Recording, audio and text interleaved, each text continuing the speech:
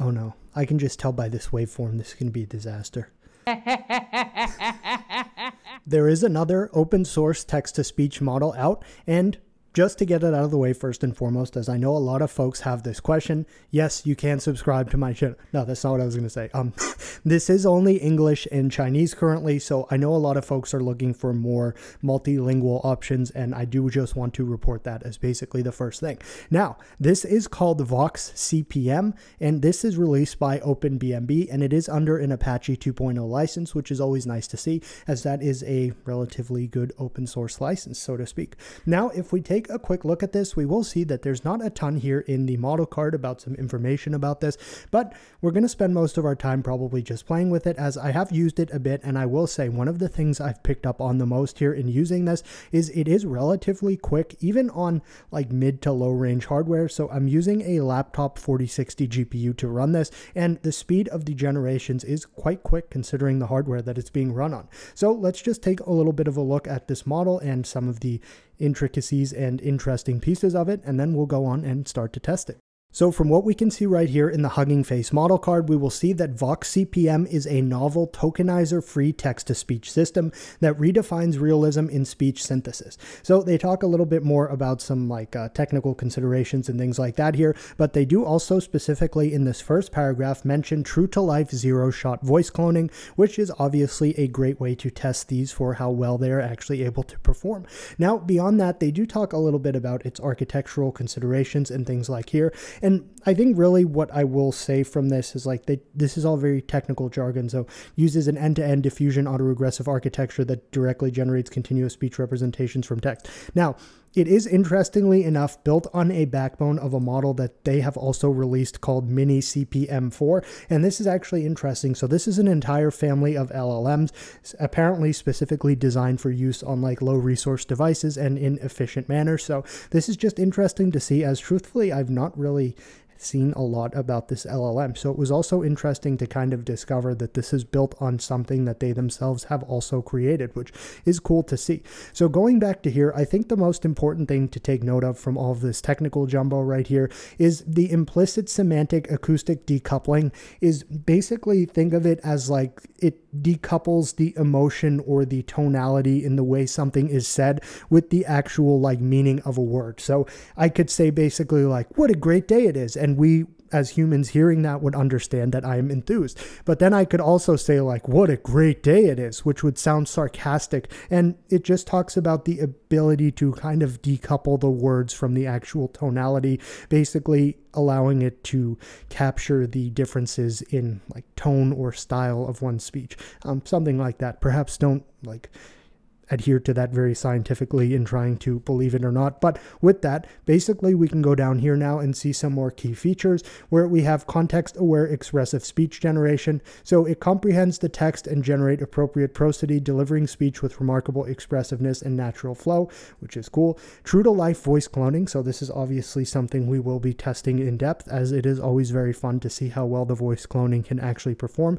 And then finally, something I did touch upon prior is the high efficiency synthesis So they mention its great speed here on a 4090 GPU, and I am even having good results with this on a laptop 4060. I do have this already set up and installed. It really was quite easy. I just cloned the repository right here and then installed it just like this in a virtual environment. And once I ran the app.py script, it went ahead and downloaded the model automatically. So no real huge difficulty there, assuming a basic level of understanding of how to git clone and things like that. So let's just go ahead now and run python app.py and we will see everything start to load up and we'll get a web URL to go to.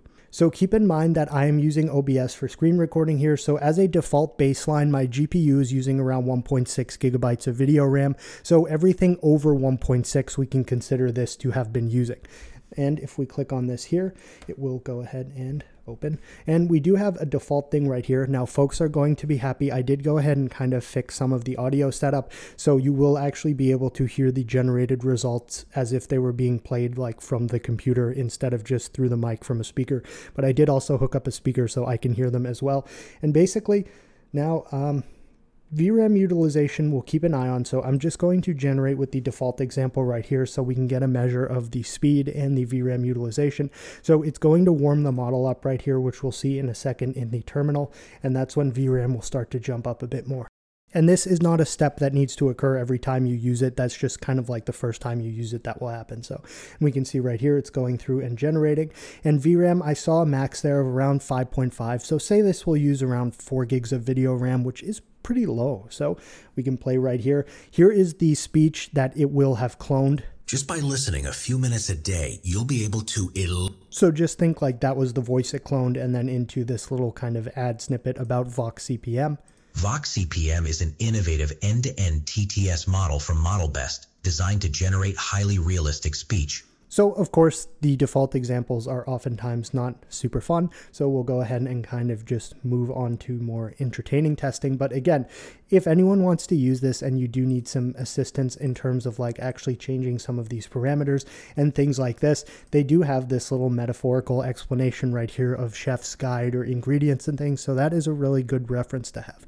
Now with that, I am going to just close all of these and full screen this as this will kind of sometimes spit out the actual text of the things you say here. So I just would like to have more emphasis on actually using the program than seeing the terminal windows and stuff like that. Now, something I noticed that was a little frustrating when, well, at least for my specific um, silly style of testing, is when I actually record my voice here, it will automatically transcribe it and then put it in this prompt text box as well. So I can't say anything bad or else it will show on the screen um, in text. But the transcription's actually quite fast, so watch. For today's video, we're going to be taking a look at something that I call a video. I don't know why I said that. All right, so for today's video, we're going to be taking a look at something that I call a video. So we have that. And then also it did really transcribe it extremely quickly. So that was kind of impressive to see. And I suppose we'll use the target text right here as well, just to get a feel for the initial sound of its cloning capability. Vox CPM is an innovative end-to-end TTS model from ModelBest designed to generate highly realistic speech. So that's quite good, especially from a very short vocal audio clip here that was obviously recorded quite um, silently, I suppose, just based on these waveforms and things like that. So I do also have to wonder if that recorded it in mono or so, I don't know. But regardless, just to get a first and serious test, that's not bad at all. So let's just go ahead and put in something else here. Now we can do that. And this prompt text, I find you can actually go ahead and delete that. So I am seeking a delivery of 12 freshly baked chicken tendies. I am seeking a delivery of 12 freshly baked chicken tendies. and it's definitely not bad. Now, I don't know how it will really sound to you on camera because, or through the video, as it will just be like hearing this actual file, which will sound better than what I'm hearing from my little studio monitor that's hooked up. But overall, the realism is not bad at all. I am seeking a delivery of 12 freshly baked chicken tendies. That does actually sound quite like me, um, except I would probably get a little more than 12 chicken tendies. Now, something I find to be kind of fun with this is you can just delete both of these and you can still generate speech and then it will generate it. However, the upside or downside, depending on how one wants to use this, is each time you do it, it will use a completely different voice. So it can be kind of funny. I am seeking a delivery of 12 freshly baked chicken tendies. Okay, so there was a background sound in that that made me sound like it sampled like some live speech or I am seeking a delivery of 12 freshly baked chicken tendies. Sounds like a presidential speech or something. All right. But then again, if we just try it back to back, having it generate it once more, we will see that it happens quite quickly, especially considering this is an 8 gigabyte laptop GPU, but the voice will be completely different now. I am seeking a delivery of 12 freshly baked chicken tendies. So I'll do it one more time. I, I was typing in some um, adult themes in here earlier and then just having it generate them in different speeches each time was I am seeking a delivery of 12 freshly baked chicken tenders. It was quite hilarious. So, and this is something, this is an immediate issue that I've been noticing with this through playing with it a bit. So let's just see how well it managed to capture the uh, tonal features of the clone snippet here, where I just said that, um, again, some of the clonings we don't show on camera because, you know, now this is definitely taking a bit longer. Oh, again, okay, because it crashed, so it has to warm up because this is technically the first time we're using it again in this run. So that explains the increase in length it took to actually generate this first result. All right. I am looking to purchase an NVIDIA 5090 GPU. I can offer the cash price of $43 as well as five shares of MSFT. That is pretty good. Let's let's do a put the money in the bag or everyone gets it. And then this one will obviously go much quicker because it's already warmed up now. Put the money in the bag or everyone gets his. Oh, I, I misspelled it. That's okay. Let me try. Uh... I wonder. Let's see if we can make this thing tap out.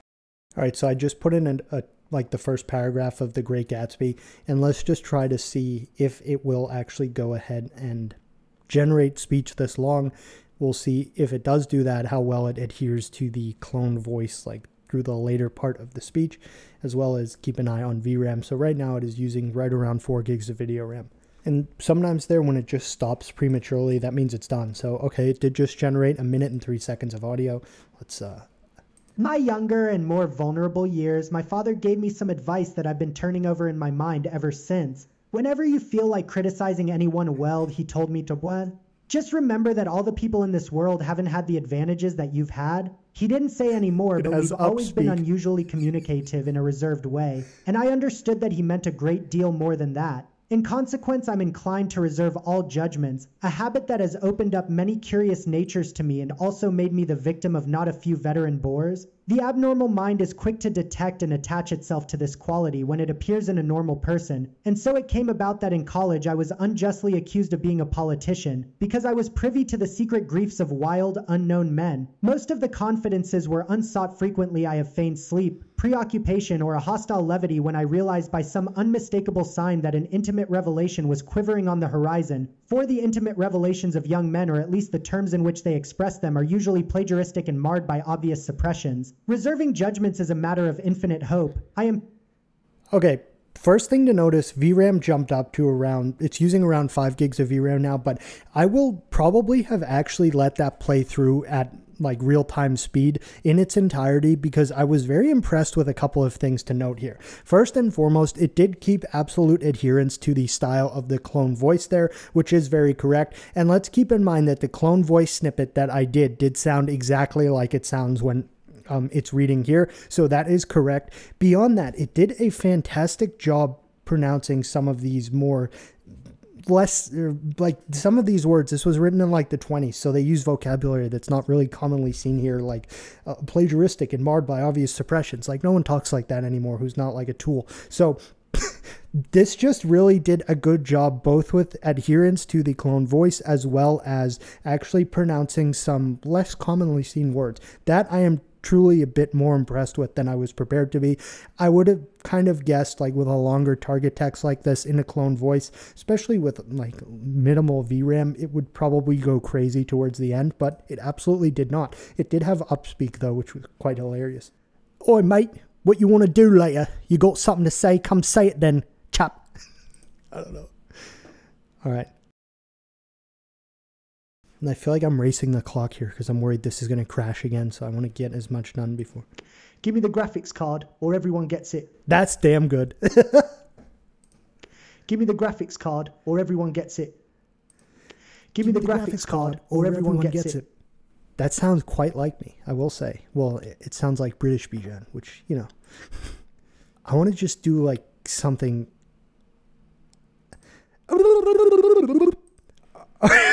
Let's just say prompt text, just put a period. All right, this is likely going to be a disaster, but it's always fun to do out of scope tests. Give them the graphics card, or everyone gets it. Give them the graphics card, or everyone gets it. Give them the graphics card, or everyone gets it. So that's definitely like an actual example of like the semantic or decoupling thing it said where it's able to pick up on like the kind of the flow of a voice as if it was like a wave and keep it and ascribe its style to this because this actually did like and then Give them the graphics card, or everyone gets it. that's an accurate like transposition transposing tr- you know what i mean to uh, i want to try. So let's just do like a uh, exclamation points and then we'll see this one will obviously happen quite quickly. Okay, well, they did say this was trained on a rather large amount of uh, sound clips, so uh, we can now let's see if it will clone my voice and then make me speak Chinese. So we can just paste that in right here and then all right, so we're just going to completely ignore the previous result here and see what happens now. And then we can just go ahead and generate the speech. And again, the target text is in Chinese. I do not know for sure if this has the capability to do this. Um, I would assume it does, but I suppose we'll find out. 可选提供参考声音，上传或录制一段音频，为声音合成提供音色、语调和情感等个性化特征。Sounded good to me. Again, uh, I'm not 100% sure, but I can tell you with decent um, like certainty that that snippet right here just says optional in parentheses and then provide a voice prompt upload or record an audio clip to provide the desired voice characters for synthesis. So you can see that I can actually read this uh, snippet of text right here, which is quite impressive. So um, let's, uh, oh no, I can just tell by this waveform this is going to be a disaster.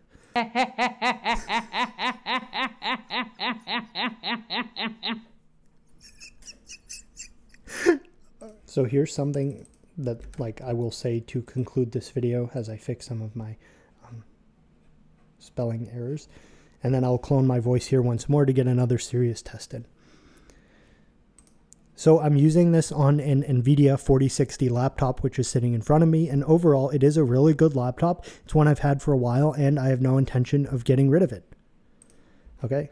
And obviously here, again, this transcription in of itself is quite impressive, especially the speed which it does it. That's like worthy of its own exploration. But I did now paste in kind of like a closing thought here with my clone voice. And you'll notice that I have not like um, touched these at all. And I don't want to, especially this one, considering that I'm on a weaker card and it's been doing well.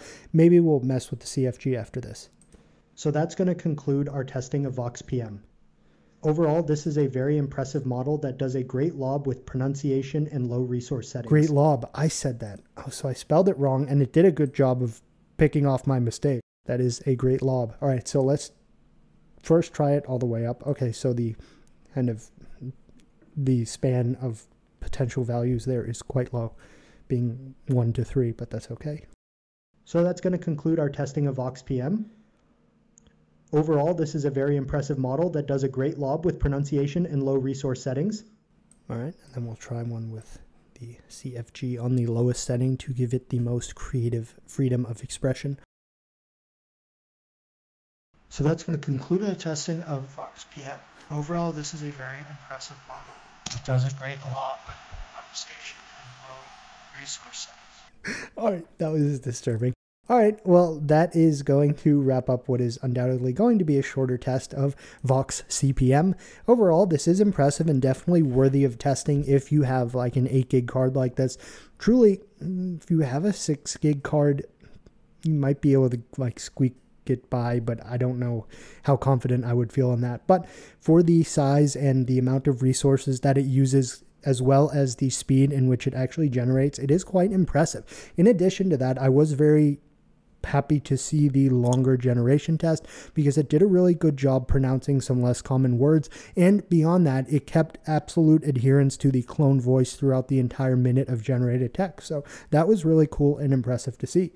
I suppose that is going to wrap it up. If you have any questions, please feel free to leave them in the comments and subscribe. And with that, thanks for watching.